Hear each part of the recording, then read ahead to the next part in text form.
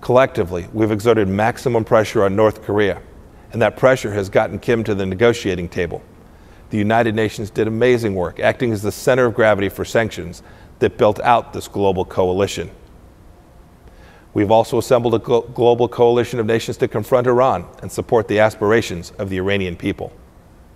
And we're rebalancing the relationship with China alongside partner nations in Asia and all around the world. It should not go unnoticed that we've also defeated the ISIS caliphate in Syria and Iraq, alongside more than six dozen nations in the global coalition to defeat ISIS. There's a lot more work to do, and with your help, I know we'll achieve it.